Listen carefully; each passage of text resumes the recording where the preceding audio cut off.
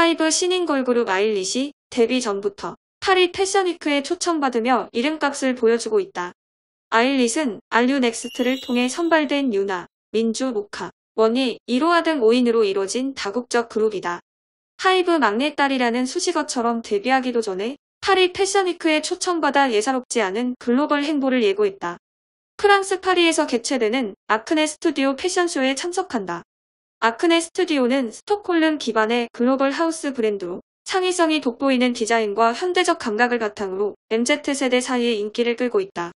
소속사는 틱톡에서 아일릿의 콘텐츠 누적 조회수가 2억 회를 돌파하는 등 서바이벌 출신으로 데뷔 전부터 글로벌 팬들의 관심을 받고 있다는 점이 그 배경이라고 설명했다. 하이브 신인 걸그룹 아일릿이 방시혁 프로듀서의 지원 속에 내달 25일 데뷔한다. 아일릿은 녹음, 뮤직비디오 촬영 등을 하면서 한층 성장한 것 같다. 또한 그 과정을 거치면서 데뷔를 실감하게 됐다. 아일릿이라는 이름으로 성장하는 모습 보여드릴 테니 많은 관심과 사랑 부탁드린다라고 데뷔 소감을 전했다.